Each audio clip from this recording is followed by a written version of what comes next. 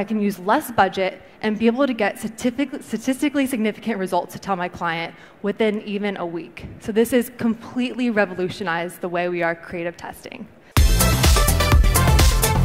I'm sure many of you have been utilizing dynamic ads for a while now, but what I'm sure maybe not all of you are utilizing is dynamic creative testing.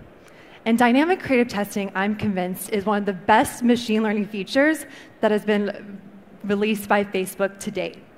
And so what dynamic creative testing allows you to do, again, it's simple setup on the ad set, you toggle on a switch that says dynamic creative on, and what you can do is on the ad, you can upload different videos, different images, top text, headlines, and Facebook will dynamically test each of those variations against each other and tell you which is the best combination for your target audience.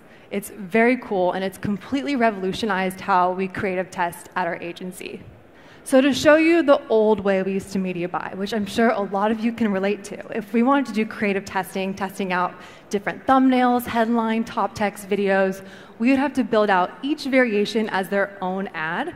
Not only was this extremely time intensive, but also it was very difficult to get statistically significant learnings on each variable.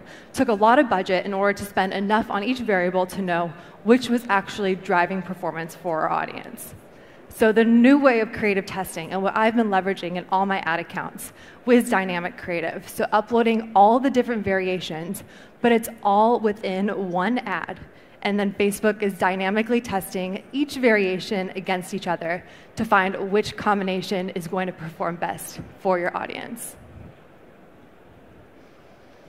And to show you a bit about the setup. So when you toggle on dynamic creative on the ad set level, when you build the ad, you'll be able to upload different photos, different videos, and then if you want to see the results of your dynamic creative, all you simply have to do is go into the breakdowns in Ads Manager, and you could break down by video, headline, top text, so you can see the best performing variable for all of your creative testing.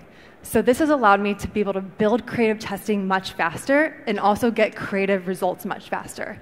So I can use less budget and be able to get statistically significant results to tell my client within even a week. So this has completely revolutionized the way we are creative testing.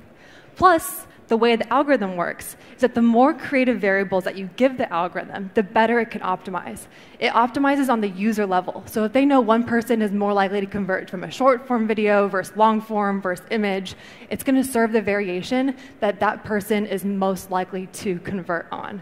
So it's going to be in your best interest from a performance perspective as well to be utilizing dynamic creative testing.